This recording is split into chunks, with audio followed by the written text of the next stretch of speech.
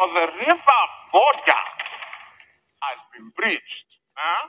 If my soldiers were present, this fishman would be bound before us as we If your muscle brains were present, they would still be there, choking on their fuzzy adornments. You bald-headed demon.